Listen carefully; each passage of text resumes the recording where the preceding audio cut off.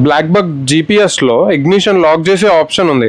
Lock చేసిన తర్వాత car situation చూడొచ్చు. సో దీనికి ఇప్పుడు ఇగ్నిషన్ ఆఫ్ చేసినాము. చూడొచ్చు. ఆర్పిఎం మీటర్ కానీ ఏది ఓడోమీటర్ ఏది వర్క్ అవట్లే స్క్రీన్ ఒకటి ఉన్నాయండి స్టార్ట్ చేసినా కానీ